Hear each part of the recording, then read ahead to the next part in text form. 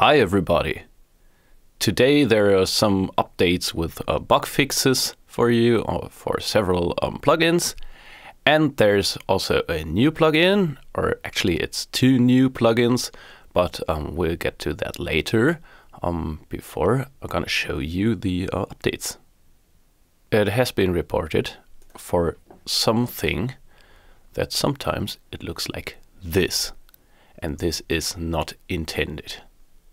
This always happens when you have a project where you use the um, something plugin and um, maybe accidentally uh, removed or bypassed the um, master instance of the plugin, saved your project and opened it again so that the um, channel instances didn't know what to do because no one was telling them which uh, desk is used. But I fixed that now so let's get to Reaper. We have something in the master. And as you can see, it switches with uh, what the master says. But if I deactivate that master plugin, it says waiting for master. Or if I switch off that this is the master plugin, both say waiting for master.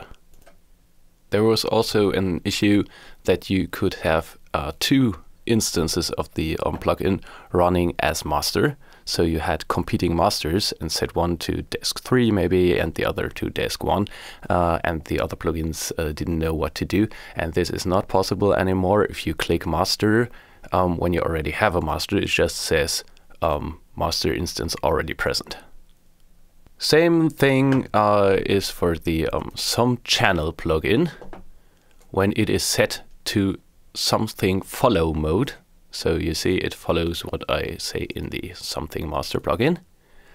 And if I deactivate that plugin, sum channel bypasses itself and is waiting for a um, something master again. So it says uh, no audio processing, something master missing.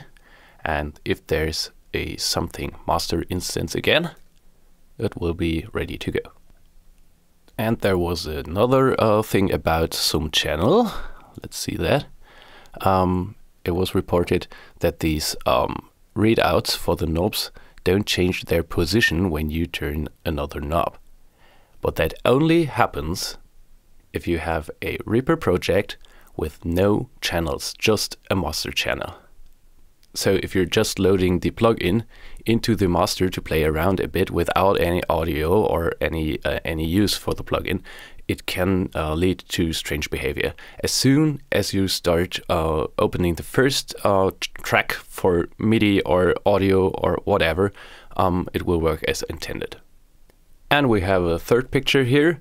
Um, this is um, what the guitar amp looks like for many people.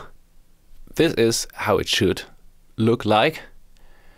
And if you set the parameter number, what is it? 42 to 0, then it will look like this, um, what we saw uh, in the browser. Um, because 0 is out of the um, valid range for this parameter. Actually, I don't know how uh, people set that to zero because from the plugin itself you can't set it to zero.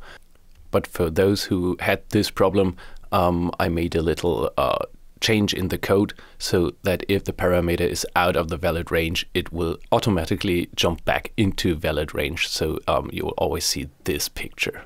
And there was another thing that has been reported, and this was um, the thing about the denoiser. So I'm going to show you um, what it did um, and what I hope I solved now. Um, I have here uh, two microphones for the snare recording, snare top and snare bottom, and they should be synced, of course. Um, so if I hit play without the denoiser on, they are perfectly in sync. And when I then turn on the denoiser for, um, for the snare top microphone, here's what happens.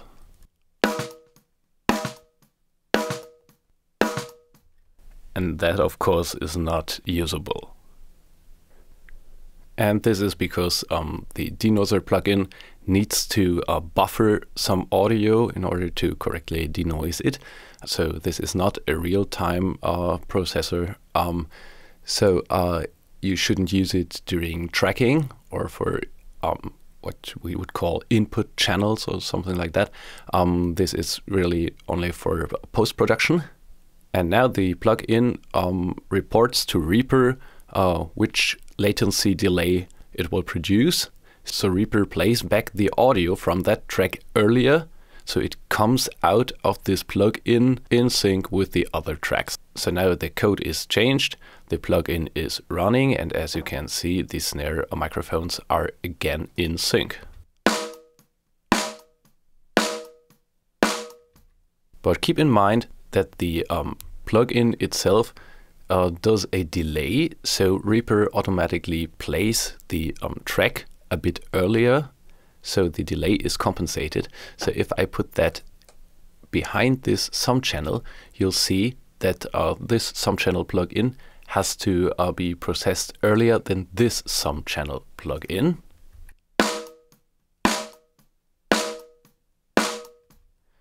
and that um, would do strange things if you have um, automation here.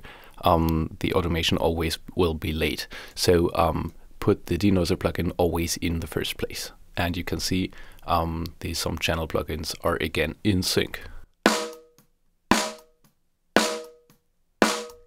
So much for the um, bug fixes uh, of the existing plugins. And uh, now let's get to the new plugin. The new plugin is a plugin um, that came from a basic idea um, that Adam Steele once told me.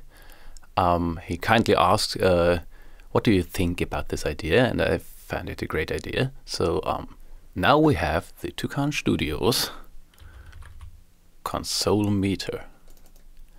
And it looks a bit like this, and this is a bit small, I think.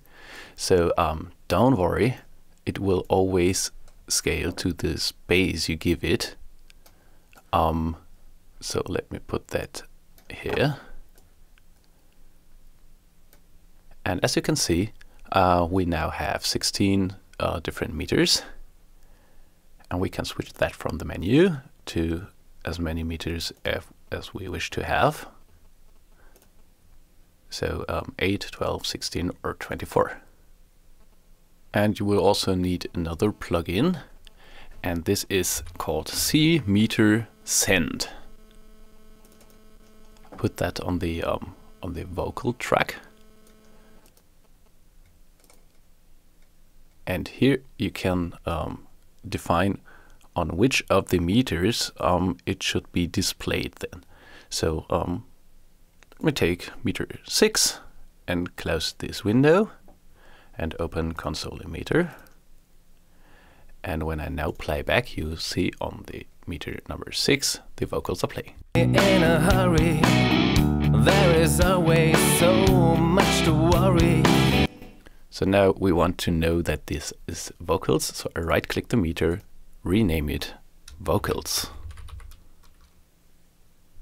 And then click anywhere else, and now it's called vocals. If that is too small for you, you can just scroll the plugin and make it bigger.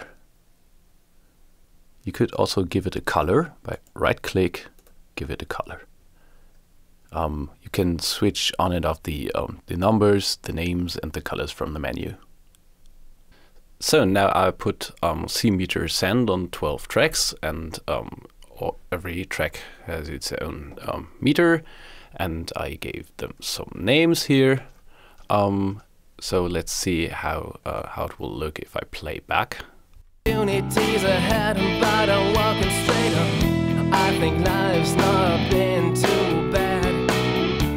and now you see the basic idea. So you have a um, a meter that is always on, on top or on a second screen or whatever, and you can see what's happening. And if you rearrange the tracks uh, in a different order, um, this will always stay the same, so you um, always have orientation on that.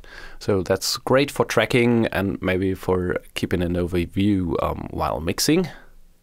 And now I've used um, 12 uh, sends. So um, you can see uh, the last send is number 12 1 uh, through 11 are um, displayed in red so that they are already in use. And um, if somewhere I put another send, it will automatically grab the next free meter.